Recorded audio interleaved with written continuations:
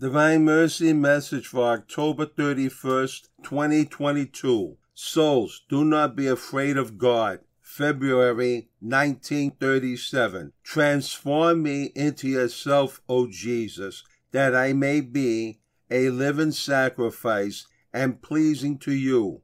I desire to atone at each moment for poor sinners. The sacrifice of my spirit is hidden under the veil of the body. The human eye does not perceive it, and for that reason it is pure and pleasing to you. Souls, do not be afraid of God, but trust in Him, for He is good, and His mercy is everlasting. From the Diary of St. Faustina, number 908. For more stories, please visit our website,